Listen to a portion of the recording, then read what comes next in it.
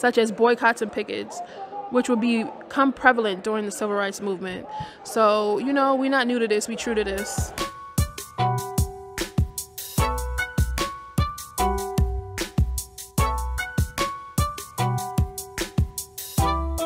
Welcome back to the Diasporian, or if this is your first time watching, welcome. We're back at one of my favorite places, the Smithsonian National Museum of African American History and Culture, also known as NMAAHC, better known as the Blacksonian.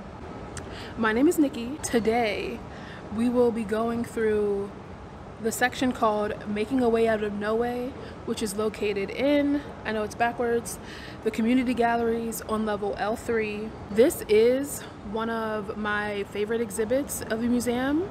If you haven't already watched my first favorite exhibit, I will link it below. I'll also put it in the little thing up here that says, um, you know, suggested videos. You can watch that one first, or you can watch this one and then watch that one. It doesn't really matter, but stay tuned girl definitely almost walked right into that uh into that glass. This video is probably that's playing in the background is probably not going to let me be great but here we have the overview of making a way out of no way. So it says how do you make a way out of no way? For generations, African Americans worked collectively to strive and thrive in the midst of racial oppression through education, religious institutions, businesses, the press, and voluntary associations. Black men and women created ways to serve and strengthen their communities. They established networks of mutual support, cultivated leadership, and improved social and economic opportunities. They also developed a tradition of activism that paved the way for broader social change. Please, put some respect on our names. Actually, y'all ain't even got to, because we put respect on our own names. So how about that? So when we hit this first corner, we have the section on religion, which they have here called Foundations of Faith. And then we have here the Nation of Islam, Muslim Americans, once we go a little further,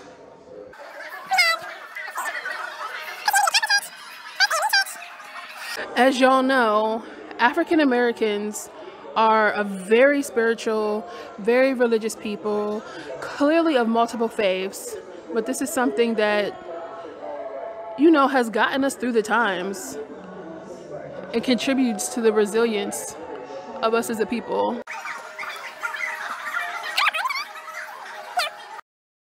On the right side, we're not going into this section today, but this is the African Americans in the military.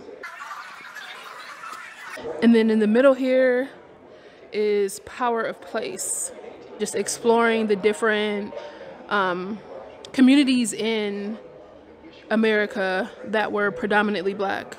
Now we're approaching the section on education and making a way out of no way.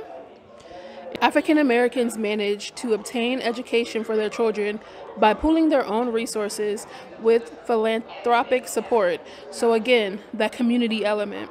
The Hope School operated from 1925 until 1954 when it was closed as a result of school desegregation and co consolidation efforts. Girl, we could talk about that desegregation later though, and if it really helped us or not. One of my favorite things about coming to this museum is that I have like a mediocre level of understanding and knowledge of African American history and culture. Um, it might be like a little higher than the average person, but on the expansiveness of our culture, I consider it to be mediocre. And so I appreciate coming in here because like I always learn something new. And even seeing these things multiple times, like it takes time for it to stick. And I just love coming in here, getting new knowledge and really just like reaffirming the fact that like we are so fire in flames.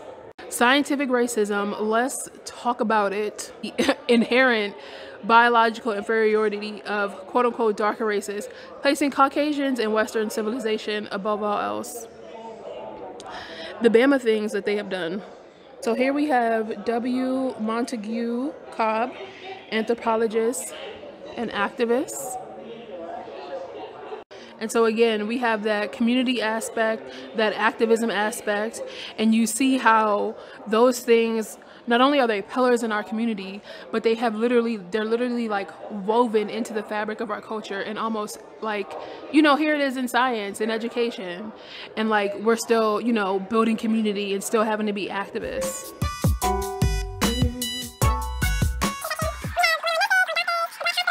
And y'all already know us in that medical industry is you know there's some history there.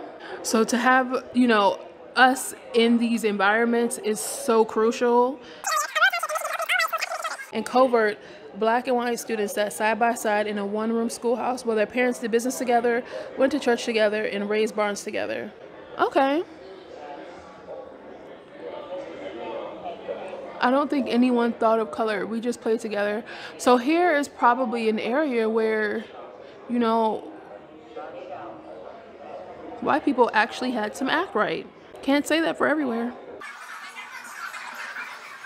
Um, here we have this, unfortunately, and we're just gonna, we're just gonna keep it moving. Now, girl, we coming into a tradition of activism they have a whole room here dedicated to Mary McLeod Bethune. So shout out to her.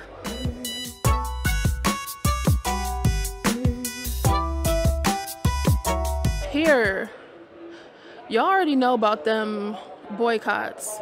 And so that is something that has been in our community. Don't buy where you can't work. During the 1930s, black activists organized protests in various cities against store owners who operated in black neighborhoods but refused to employ black workers.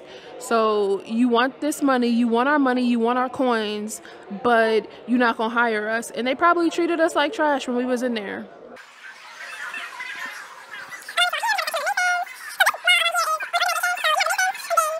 Uh, um, Divine Nine. People often wonder where the Divine Nine is.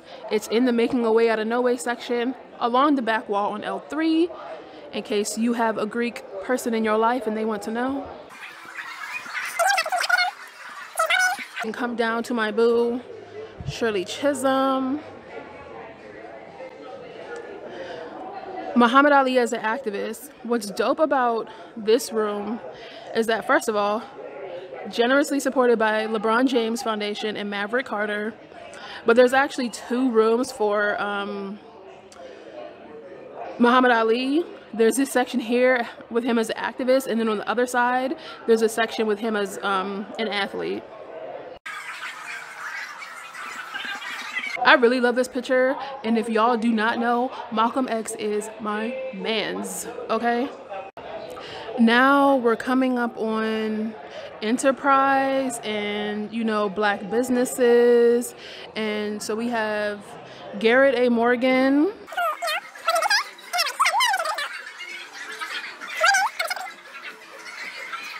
Doing for self. Yeah I like that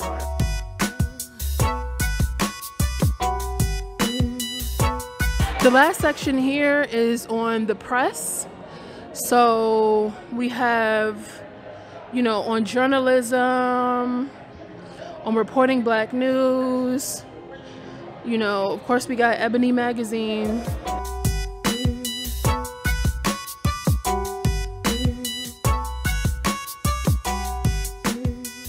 I really hope you guys enjoyed that. I know I did. I love this section. I just think it speaks to so much of our culture and it really, I like the facts that it provides and the fact that it's like, yo, we value education, we value community, we value business, we value faith. Like all these things are part of our culture and clearly have been since we were brought here. And you know, and though even even through slavery even through oppression and all those things we still found a way to create our own culture and to create our own values. Let me know what is your favorite section of the museum. And if you haven't been yet but you want to go let me know which section you're looking forward to seeing